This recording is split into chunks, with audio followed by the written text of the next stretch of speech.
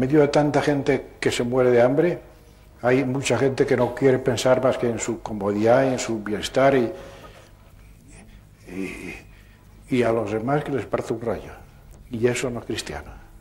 Hijos míos, no hay más remedio que vivir con un corazón más grande, pensando en todos, queriendo a todos, sabiendo sacrificarse por todos. Y así serviremos al Señor y así extenderemos el reinado de, Cristo por todas partes.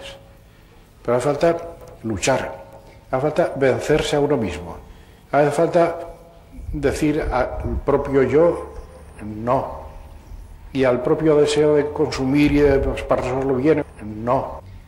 En fin, ese acostúmbrate a decir que no que escribió nuestro Padre en camino.